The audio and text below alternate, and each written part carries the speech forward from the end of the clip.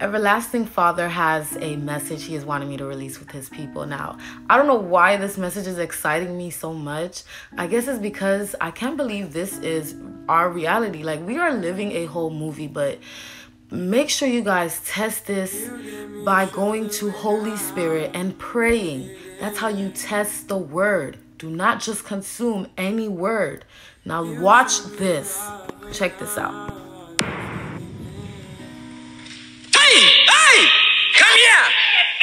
Who are you? Ποιος είστε? Leave me. Who are you?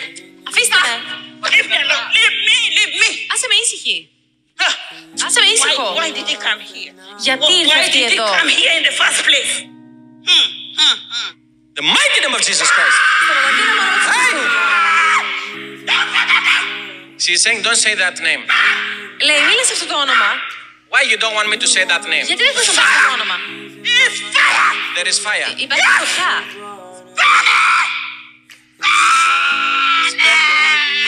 Hey. So, those of you that you are not using the name of Jesus, Εσείς που δεν χρησιμοποιείτε το όνομα του Ιησού, you hear the demon crying out, There is fire in the name of Jesus Christ. So this lady went on a trip to go see this particular pastor because he does deliverance. So Lola was at work today, and I stumbled upon a deliverance uh, TikToker, and I was like, let me go watch on this a little bit. I went to YouTube and I found this preacher particularly.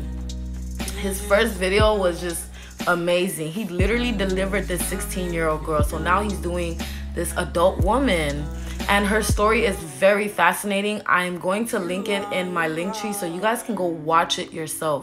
But check this out, you guys. So you don't want to be free. Only, και δεν το θέλω. Okay, what does the prayer do to your kingdom? Τι κάνει προσευχή στο βασίλειό σου? You are torturing us. Μας βασανίζεις. How? Πώς? Fire. Φωτιά. Oh, you are burning. Μας καίς. Place is too hot. I'm definitely gonna need a part two to show you guys the rest. So towards the end of this, make sure you find part two. This is very important and crucial.